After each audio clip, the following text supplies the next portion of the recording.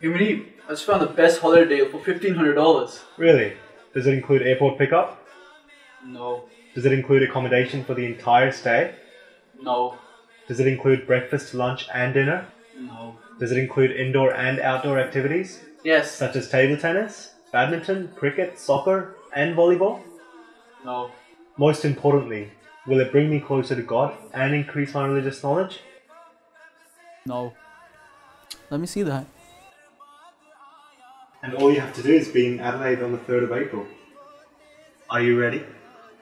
बढ़ता ही जा रहा है बढ़ता ही जा रहा है